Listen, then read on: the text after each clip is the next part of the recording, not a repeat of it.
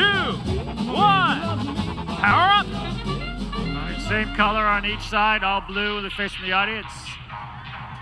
Pre-programmed, trying to get to the scale of ownership. Both red alliance and blue alliance, blue alliance have ownership. That's to double the points during auto.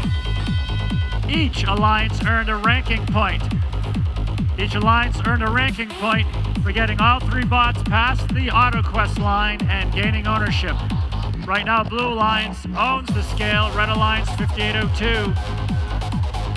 Los Stemmateros bouncing it out. Delivering a second scale, the Red Alliance in the back. Oh, toppled over the side.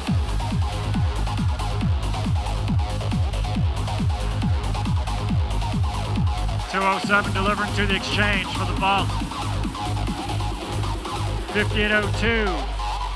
Tatsu Tress. Deliver another scale.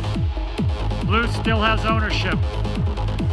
Ownership is one point per second for your switch and scale. 294 delivering to the plate of the Red Alliance switch. Trying to take away ownership from the Red Alliance. Coming down to the final minute of play. Teleoperated. Scale's anyone's game. It, that scale is teetering. Now it's Red Alliance ownership. Blues playing a boost for their scale, for their switch.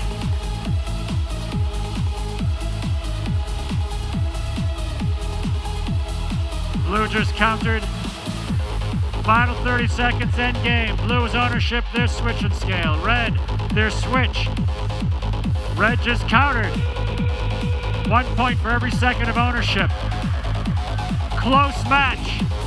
The platform is waiting. Each robot that can successfully climb is 30 points.